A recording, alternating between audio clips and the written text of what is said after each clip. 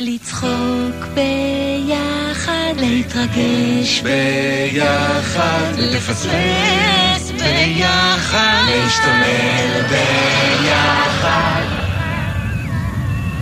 שתיים זה תמיד